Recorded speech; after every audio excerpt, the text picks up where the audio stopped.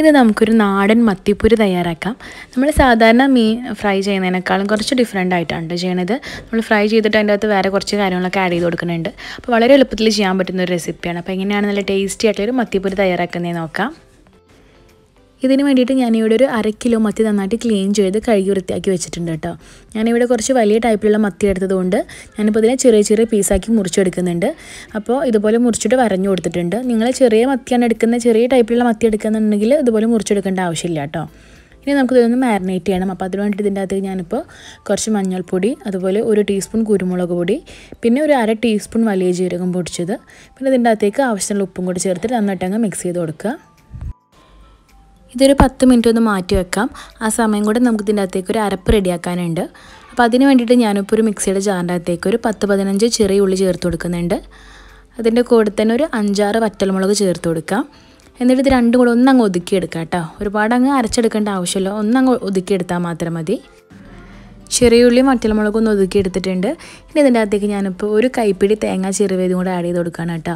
തേങ്ങ ഒരുപാട് ചേർക്കേണ്ട കുറച്ച് മാത്രം ചേർത്താൽ മതി. അതും കൂടെ ചേർത്തിട്ട് ഒന്നും കൂടെ ഒതുക്കിയെടുക്കുക ഒരുപാട് ഞാൻ പറഞ്ഞ പോലെ അങ്ങ് അരച്ചെടുക്കേണ്ട ആവശ്യമില്ല ഒന്ന് അങ്ങ് ഒതുക്കിയെടുത്താൽ മാത്രം മതി.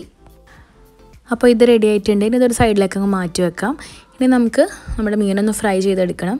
അപ്പോൾ അതിന് വേണ്ടിയിട്ട് ഞാനിപ്പോൾ ഒരു പാൻ ചൂടാക്കിയിട്ട് അതിന്റെ അകത്തേക്ക് കുറച്ച് വെളിച്ചെണ്ണ ഒഴിച്ചു കൊടുത്തിട്ടുണ്ട്. ഇതിന്റെ അകത്തേക്ക് ഓരോ മീനിന്റെ പീസാക്കിയിട്ട് അങ്ങ് ഫ്രൈ ചെയ്തെടുക്കാം.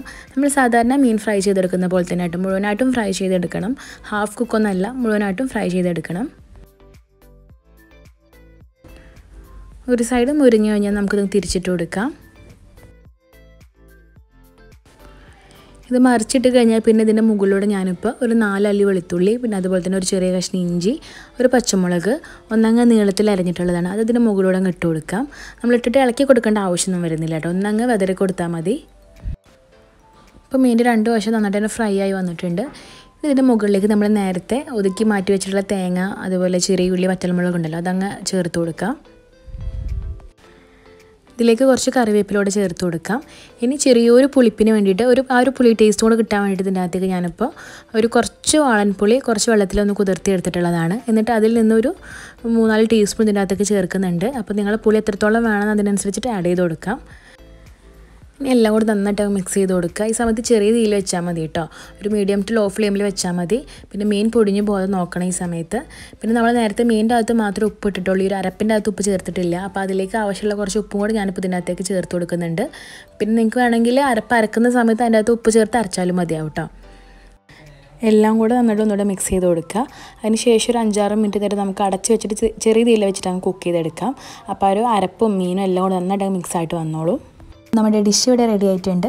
വളരെ എളുപ്പമല്ല ഉണ്ടാക്കാനായിട്ട്. അപ്പോൾ നിങ്ങൾക്ക് മത്തി മാത്രമല്ല നിങ്ങൾക്ക് വേറെ മീനിലൊക്കെ ഇത് ട്രൈ ചെയ്ത് നോക്കട്ടെ. മത്തിയിൽ ചെയ്യുമ്പോൾ പ്രത്യേകം ഒന്നുകൂടി നല്ല ടേസ്റ്റ് ഉണ്ട്. ആ ഒരു തേങ്ങയും മീനെല്ലാം കൂടെ വന്നപ്പോൾ.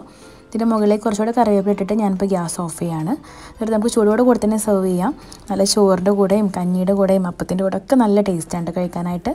അപ്പോൾ നിങ്ങൾ എന്തായാലും ഒന്ന് ട്രൈ ചെയ്ത് നോക്കൂ. ഇഷ്ടമാവും അപ്പോൾ ട്രൈ ചെയ്തിട്ട് ഫീഡ്ബാക്സും കൂടി പറയാൻ മറക്കരുത്. പുതിയ നല്ല ഈസി റെസിപ്പി ആയിട്ട് വീണ്ടും കാണാം. അതുവരേക്കും താങ്ക്